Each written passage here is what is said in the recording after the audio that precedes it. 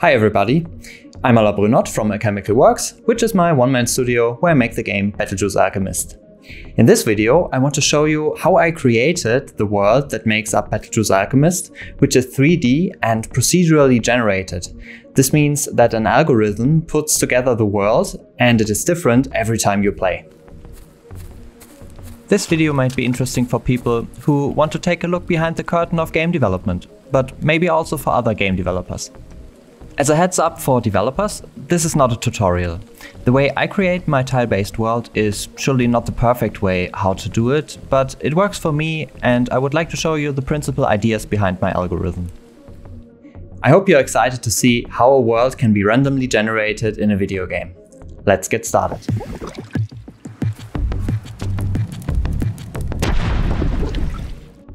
The first thing you need to know about the world of BattleJuice Alchemist is that it is tile-based. A tile, in its most basic form, is a flat square that makes the smallest unit of a landscape. If you put many tiles next to each other, you get a very simple landscape. Before you can create mountains, valleys and so on from your tiles, you have to make a very important decision. How big do you want your tiles to be?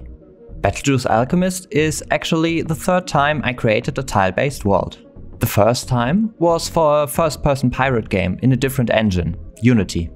My tiles were huge, as big as a whole volcano, which visually worked okay for this game, but I ran into performance issues later on. The second time, this time an RPG in Unreal Engine, I went for really small tiles that were only as big as a single character. This was also okay for that type of game, but felt a bit more like a Minecraft level. In this science fiction RPG, I splitted the world into tile-based levels, which is a concept I also use in BattleJuice Alchemist. Here, a level is made from 400 tiles. A tile is big enough for a piece of a river or a small building. The player can travel from level to level by selecting it on the world map, which I am implementing right now and will show in another video. Every single level is quite big and there's a lot to discover. You can seamlessly travel inside such a 400 tile level, although there are only 25 tiles loaded around the player at a time. So this is our basic setup. The whole world of BattleJuice Alchemist is divided into levels. Each level consists of 400 tiles, which is 20 times 20 tiles. What you do not realize as a player is that only 25 of these tiles are loaded around you at a time. In a level you can go explore and do your quests and once you're done you can go to another level. You can always return if you want to. Now you may ask yourself how are mountains and rivers and valleys created from tiles? I use Unreal Engine's blueprint system to write my code. What you see here is the code that creates the tile-based landscape. First of all, when a level is created, some tiles are moved up or down randomly.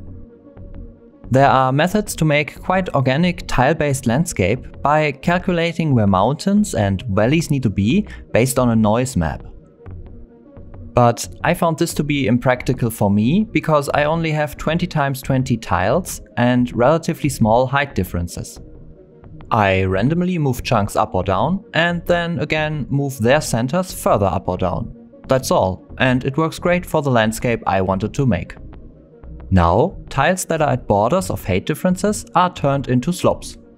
Where two slopes meet at an angle, there needs to be a corner. These tiles, like all others, must be modeled in a 3D program before, of course. We now have a very basic terrain, all tiles that are below level 0 are underwater, so a water surface is added to them. Let's continue with making rivers. We pick a random tile on level 0 to be the start of our river. Then we create more river tiles going upwards. If there is an upward slope, a small waterfall is created as the river's source. From the original starting tile, more river tiles going downwards are added. If there is a downward slope to level minus 1, means the river has hit the sea and ends. Now we basically have mountains, valleys and rivers. we tell the higher tiles that they need a rocky texture and the lower ones, which are partly underwater, to have a sandy texture. The borders between different texture types are created by a system that is similar to the one creating the slopes and corners, which we discussed before. Around the edges of the level, some steeper slopes are added, which the player cannot cross. This completes our basic landscape. It can now be populated with plants, buildings and other objects, but also by creatures. But placing all of that in a level is something for another video. One beautiful thing about procedurally generated worlds is the fact that every part of the land knows its own characteristics. A river knows it's a river and a sound can be added, or a mountain knows it's a mountain, so turtles don't spawn up there.